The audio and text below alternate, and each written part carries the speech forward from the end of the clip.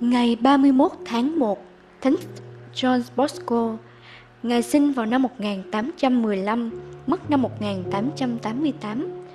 Gioan Melchior Bosco, sinh ngày 16 tháng 8 năm 1815 tại Becci, Thurio, nước Ý. Song thân của Ngài là những người nông dân nghèo.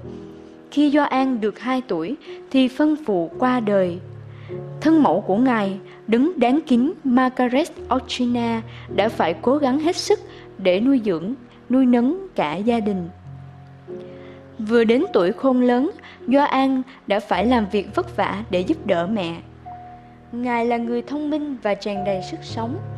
Rồi Gioan bắt đầu nghĩ đến việc đi tu làm linh mục. Ngài không dám nói điều gì với mẹ bởi vì biết gia đình không có khả năng chu cấp cho Ngài theo học ở chủng viện. Hơn nữa, mẹ Do An đang cần có người phụ giúp việc nhà. Vì thế, Do An đã nhẫn nại chờ đợi, cầu nguyện và hy vọng. Cuối cùng, một linh mục thánh thiện là Thánh Giuse Cafaso nhận thấy Do An có ước vọng muốn làm linh mục. Ngài đã giúp Do An gia nhập chủng viện. Suốt quá trình học tập, Do An đã vất vả làm việc. Ngài học đủ thứ nghề, thợ mộc, đánh giày, nấu ăn, làm bánh, trồng trọt và chăn nuôi. Ngài cũng làm nhiều công việc khác nữa. Ngài đã không thể nào nghĩ rằng những kinh nghiệm thực tế đây sẽ rất giúp ích cho nhiều người sau này. Năm 1841, Do An trở thành linh mục.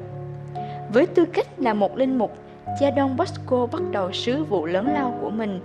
Ngài tập hợp các em trai không cửa nhà lại với nhau và dạy nghề cho chúng. Bằng cách này, chúng sẽ không phải đi ăn trộm ăn cắp hoặc quấy phá gây rối trật tự nữa. Khoảng năm 1850, đã có 180 em trai sống tại căn nhà dành cho các em của ngài. Mẹ của cha Don Bosco là người giữ nhà. Thoạt đầu, người ta không hiểu được cha Don Bosco đang làm điều gì. Họ cho rằng bọn trẻ sẽ không thể nào trở nên tốt được. Nhưng cha Don Bosco xác nhận là chúng có thể. Em có muốn làm bạn với cha Don Bosco không? Ngài hay hỏi những câu như vậy, mỗi khi có một bạn nhỏ mới đến với Ngài. Em muốn chứ? Cha Don Bosco vui vẻ hỏi như thế, và sau cùng Ngài kết luận, rồi em sẽ giúp tôi cứu linh hồn của em. Ngài muốn các cậu con trai của Ngài mỗi tối phải đọc ba kinh kính mừng để Đức Mẹ giúp các cậu giữ mình khỏi tội. Ngài cũng dặn dò khuyên nhủ bọn trẻ phải thường xuyên lãnh nhận bí tích hòa giải và thánh thể với lòng yêu mến. Một trong các cậu nhỏ của cha Don Bosco là Damin Savio đã trở nên thánh. Cha Don Bosco thiết lập một dòng tu chuyên đào tạo các linh mục và tu huynh theo tinh thần của Thánh Francisco Salesio năm 1859.